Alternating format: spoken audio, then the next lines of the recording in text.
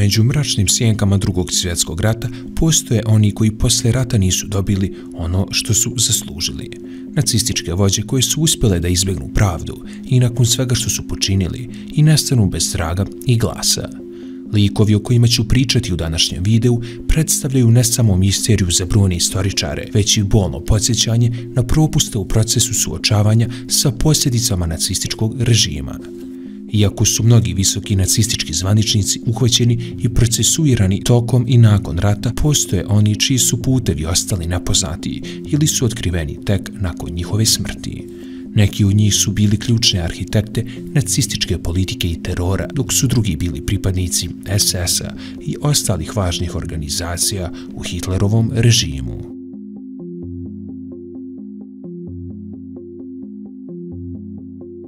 I veliki pozdrav svima, ja sam Juske, a nacisti o kojima ću pričati u današnjem videu predstavljaju onu tamnu stranu posljeratnog perioda, perioda u kojem su se nacistički zločinci uspješno izvukli te ostali nakažnjeni, a pravda je izmakla mnogim žrtvama.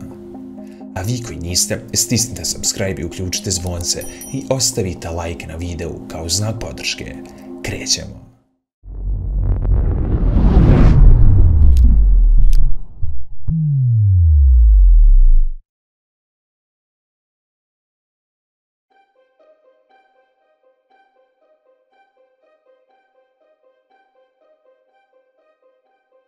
Jozef Mengele zaradio je svoje nadima kanđe o smrti zbog svojih eksperimenata nad ljudima koji je provodio u nacističkom koncentracionom logoru Auschwitzu tokom drugog svjetskog rata.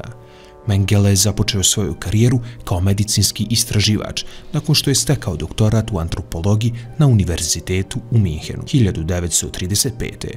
Dvije godine kasnije pridružio se nacističkoj stranci te se uključio u SS. Nakon što je shvatio da je ograničen u Wehrmachtu, počeo služiti u SS-u. Nedugo nakon toga bio je ranjen na dužnosti, te je podnio zahtjev da ga prebace u koncentracione logore. Mislio je da će tamo moći više doprinijeti svojim eksperimentima vezanim za genetiku. U zloglasnom logoru Auschwitzu Mengeleu je bilo dozvoljeno sprovoditi eksperimente nad ljudima. Bio je veoma zainteresovan za blizance, te je nastavio mučiti djecu, ubrizgavati im razne viruse i bakterije, te čak vršiti amputacije tamo gdje nisu bile potrebne.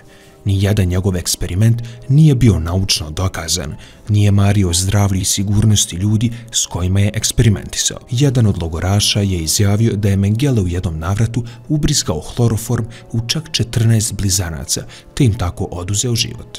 Mengele je imao pristup do čak 1500 blizanaca, a u tog broja samo je 200 preživjelo Auschwitz. Mengele je bio jedan od vođa u Auschwitzu, vodio je 30 doktora i selektivni proces za židove koji bi tek stigli u logore.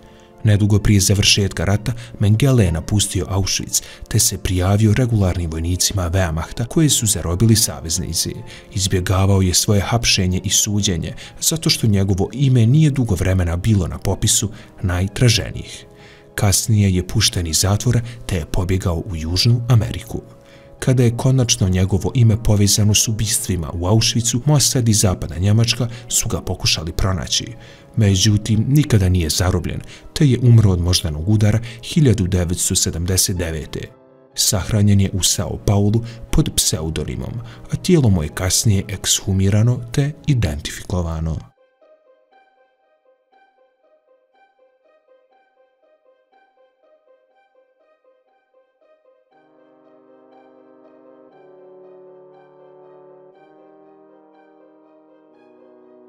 Martin Bormann je bio istaknuti nacistički zvaničnik, došao je na čelo partijskog kancelarijata nacističke partije i postao lični sekretar Adolfa Hitlera.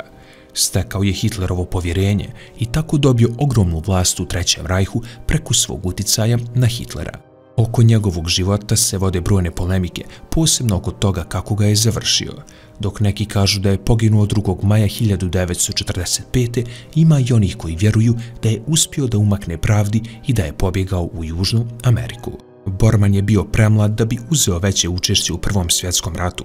Posle rata postao nadzornik imanja u Meglenburgu i tako došao u kontakt sa frajkorima, koji su bili na imanju. Inače, frajkori su njemačke dobrovoljačke jedinice koje su postojale od 18. do početka 20. vijeka, čiji su se pripadnici efikasno borili kao plaćenici, bez obzira na sobstvenu nacionalnu pripadnost. Uglavnom, uzeo je učešće u njihovim aktivnostima, uglavnom atentatima i iznudama radničkih sindikata. U martu 1924. osuđen je na godinu dana zatvora kao saučesnik svom prijatelju Rudolfu Hessu u ubistvu Waltera Kadova, za koga se vjerovalo da je izdao Alberta Lea Šlagetera francuzima tokom okupacije Rurske oblasti. Po izlazku iz zatvora stupio je u nacističku partiju. 1933. postao je Reichsleiter nacističke partije i poslanik u Reichstagu. Od 1933. do 1941. bio je lični sekretar Rudolfa Hessa, a kada je ovaj otišao u Englesku, postao je sekretar Adolfa Hitlera. Mnogi istoričari smatraju da je po količini moći koju je posjedovao Borman bio siva eminencija Trećeg rajha tokom drugog svjetskog rata naslijedio je Hitlera na čelu partije nakon što je Führer navodno izvršio samoubistvo, mada se na tom mjestu nije dugo zadržao. Borman je napustio Hitlerov bunker oko 11 časova uveče 1. maja. Bio je u društvu još nekoliko nacista, a sa sobom je nosio kopiju Hitlerovog testamenta. Grupa je putovala pješke kroz tunel do stanice, gdje su izašli na površinu. Pokušali su da prijeđu rijeku, a onda je uslijedila sovjetska artiljerija. Borman i još jedan nacista su pali na zemlju. Na kraju su ipak uspjeli da prijeđu rijeku iz trećeg pokušaja. Išli su duž željezničke pruge, kada je jedan od saputnika odlučio da napusti grupu i da krene u suprotnom smjeru. Kada je vidio sovjetsku armiju, odlučio je da se vrati. Naišao je na dva tijela, a pretpostavlja se da je jedan bio Borman. Međutim, nije imao vremena da provjeri, tako se nije znalo kako su tačno umrli. Pošto Sovjeti nikada nisu priznali da su pronašli njegovo tijelo, njegova sudbina je dugi niz godina bila nepoznata. Međutim, početkom 1973. u Berlinu forenzički ekspert sa skoro potpunom sigurnošću, pod navodnim znacima, je utvrdio da je jedan od dva skeleta koja su iskopana u toku izgradnje u zapadnom Berlinu u decembru 1972. bio Borman, a 11. aprila 1973. zapadno-njemačke vlasti su ga zvanično proglasile mrtvime. Skelet je podvrgnut testiranju DNK 1998. a istražioci su potvrdili da su ostaci Bormanovi. U izveštajima, posebno u onim iz 1960. navodi se da je Borman pobjegao i živio u Južnoj Americi.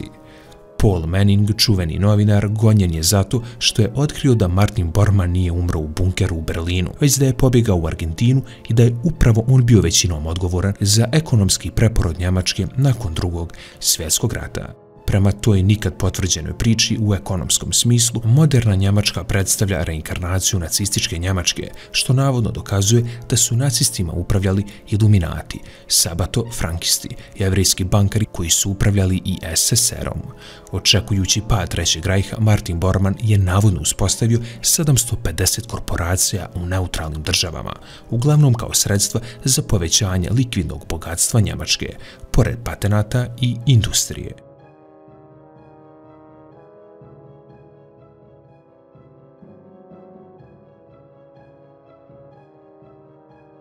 Hans Kammler bio je SS Obergruppenführer, odgovoran za nacističke projekte građevinarstva i njihove strogo tajne programe oružja.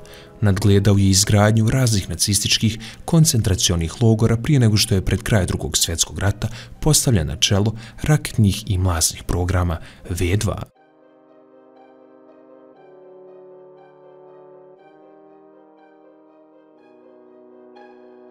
Kamler je nestao u maju 1945. tokom posljednjih dana rata, a u njegovoj sudbini se mnogo nagađalo. Neki izvori govore da je nakon rata odletio za Prag i tamo izvršio samoubistvo, a neki da je kao i svi vrhovni nacisti otišao jednostavno u Južnu Ameriku. Kamler je rođen u Stetinu, nekadašnjoj Njemačkoj 1901. Od 1919. do 1923. studirao je građevinarstvo i dodijeljen mu je doktorat inženjerstva u novembru 1932. nakon nekoliko godina praktičnog rada u lokalnoj građevinskoj upravi. 1931. Kamler se pridružio nacističkoj partiji gdje je obavljao razne administrativne dužnosti nakon što je nacistička vlada došla na vlast 1933. U početku je bio šef građevinskog odjela Ministarstva vazuhoplovstva. Pridružio se SS-u 20. maja 1933. 1934. služio je u ministarstvu Rajha kao vođa federacija vrtlara na parcelama i vlasnika malih kuća. Kamler je želio nacistima staviti na raspolaganje najbolja sredstva moderne organizacije, jer je vjerovao da je nacional socijalizam nužan katalizator za modernu izgradnju.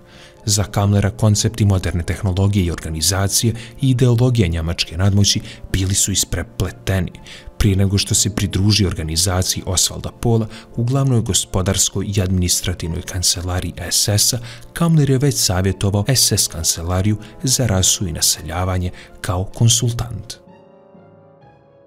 U junu 1941. pridružio se Waffen SS-u. Zbog Himmlerove želje da poveća tempo i obim građevinskih aktivnosti SS-a, Kamler je pušten na dužnost savjetnika u Rajskomisarijatu za jačanje Njemačke, kako bi se njegove tehničke i upravljačke sposobnosti mogli iskoristiti. Čak i Albert Speer, Hitlerov glavni arhitekta, počeo se plašiti Kamlera i svrstao ga među Himmlerove najbrutalnije i najnemilosrdnije pristalice – poznato je da je Kalmar pažljivo promatrao obrazovanje svojih podređenih, kao i njihovu ideološku predanost nacional-socijalizmu, što je uračunavao u njihove dužnosti i unapređenja. Kamler je veoma brzo postao polov zamjenik gdje je radio sa SS Gruppenführerom Richardom Glucksom iz inspektorata za koncentracione logore, a također je imenovan šefom kancelarije C, koja je projektovala i izgradila sve koncentracione logore. 26. septembra 1941. samo nekoliko dana nakon objave plana za logor Majdanek u Poljskoj, Kamler je naredio izgradnju najvećeg logora u Auschwitzu.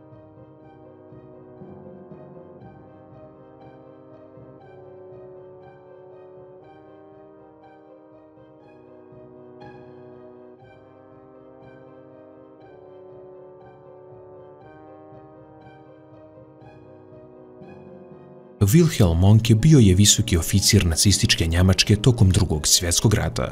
Rođen je 15. marta 1911. godine u Marienburgu, današnjem Alborku, u Poljskoj. Monke se pridružio nacističkoj partiji i SS-u još ranih 30. godina. Kasnije je postao pripadnik Hitlerovog ličnog obezbeđenja, poznatog kao SS Leibstandarte Adolf Hitler, a kasnije je bio i komandant tog elitnog odreda. Jedna od najpoznatijih uloga koje je Monke imao tokom rata bila je bitka za Berlin 1945. Tada je bio komandant Kampf grupe Monke, sastava sastavljenog od različitih SS jedinica, uključujući i SS Leibstandarte Adolf Hitler. Njegova jedinica bila je odgovorna za odbranu ključnih dijelova Berlina tokom sovjetskog napada na ovaj grad. Monke je također bio jedan od onih koji su bili u Hitlerovom bunkeru u posljednjim danima rata. Bio je prisutan tokom Hitlerovog samoubistva 30. aprila 1945. godine. Nakon Hitlerove smrti, Monke je zajedno sa grupom drugih visokih nacističkih zvaničnika uspio da se probije iz Berlina. Kasnije je bio u zarobljeništvu savezničkih snaga, ali je oslobođen 1947. Nakon rata, Monke se povukao iz vojne karijere i prešao na civilni život. Živio je uglavnom mirno i izbjegavao je javnost. Umro je 6. augusta 2001. u Kelmu, u 90. godini života. E sad, on je uspio da izbjegne hapšenje nakon drugog svjetskog rata iz nekoliko razloga. Kao prvo može zahvaliti haotičnom stanju u posljeratnoj Njemačkoj.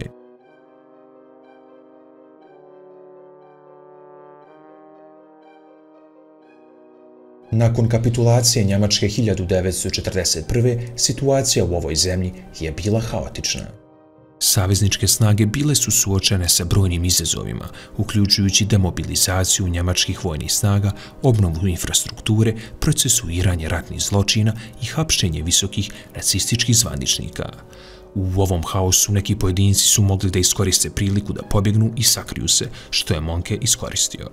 Također, Monke nije bio toliko istaknuta figura kao neki drugi nacistički lideri poput Hitlera, Himmlera ili Goebbelsa.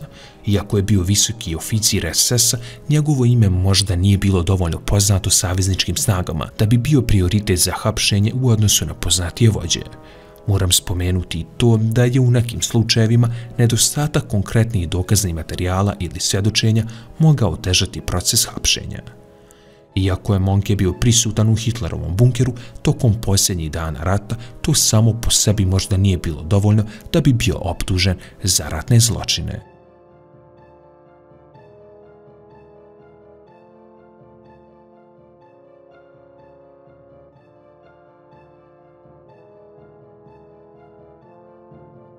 Reinhard Heydrich je 1936. bio čovjek koji je bio na čelu gestapoa, a Heinrich Himmler je bio njegov šef operacija. Pod njegovim vođstvom gestapo je uništio opozicijske grupe, uključujući podzemne mreže socijalista i komunista. Miller je 1937. unaprijeđen na poziciju pukovnika i konačno je službeno postao član nacističke stranke 1939. na insistiranje vođe Rajha Heinricha Himmlera. Budući da je to povećalo njegove šanse za daljnje napredovanje, Miller je vjerovatno pomislio zašto da ne. 1939. Hitler je tražio izgovor za napad na Poljsku. Tako su Himmler, Heydrich i Miller izmislili lažni napad, koristeći zatvorenike kao pione. Lijepo obučeni u poljske uniforme kako bi mogli igrati ulogu napadača, zarobljenici su mislili da će biti pošteđeni. Umjesto toga Miller im je ubrizgao smrtonosne inekcije, a zatim ih upucao kako bi napad izgledao stvarno. To je opravdalo nacističku invaziju na Poljsku, koja je označila početak drugog svjetskog rata u Evropi. Umeđu vremenu, Heinrich Miller nastavio je svoj uspon do vrha, postajući general poručnik policije 1941. Nijedan zadatak nije mu bio stran, špijunaža kontra špijunaža, ali prije svega pomaganje u orkestriranju konačnog rješenja židovskog pitanja. Kao desna ruka Heidriha, jednog od glavnih arhitekata holokausta, Miller je pomagao organizovati deportacije desetina hiljada židova kako bi pokrenuo konačno rješenje kada je Adolf Eichmann, viši službenik SS-a koji je bio široko priznat kao ključni organizator holokausta, sredinom 1941. izvijestio Millera da je Hitler konačno naredio uništenje evropskih židova, Miller je jednostavno klimnuo glavom masa logistike potrebna za izvršenje holokausta, deportacije, odredi smrti, masovna ubistva i vođenje evidencije.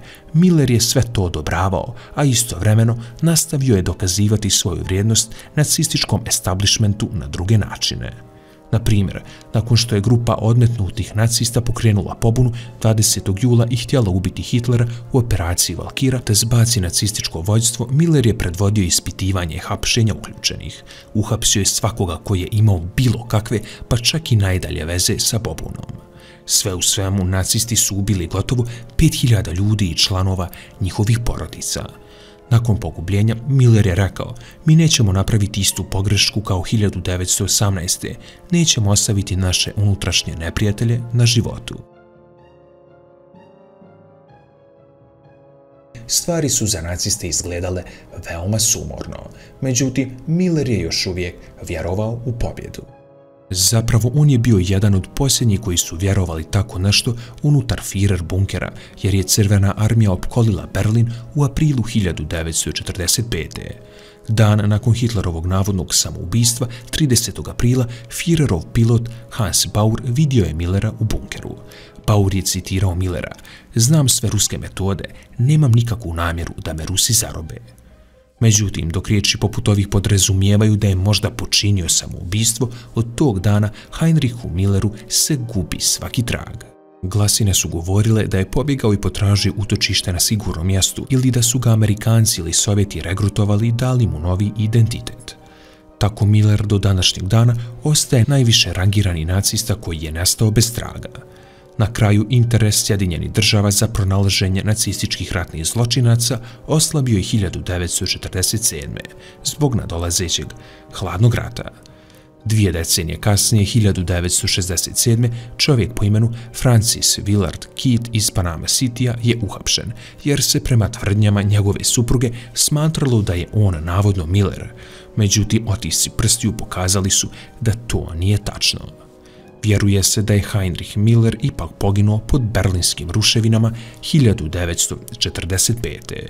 2013. Johannes Tuchel, šef memorijala njamačkom otporu, inače Berlinski muzej Njemcima koji su se opirali nacistima, dao je izjavu da je Miller umro 1945.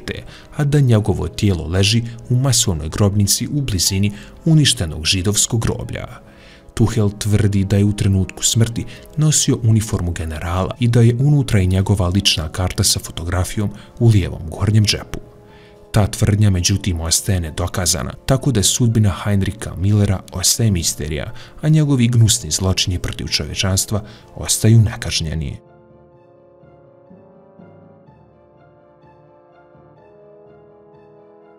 To bi bilo to što se tiče ovog klipa, sada što se tiče Instagram pozdrava, njih dobijaju Julija Janković, Ragnar, Leo Limeni, Dragana Gligorević, Martin Jokić i Karolina. Ako i vi želite pozdravu nekom od narednih klipova, obavezno me zapratite na Instagramu.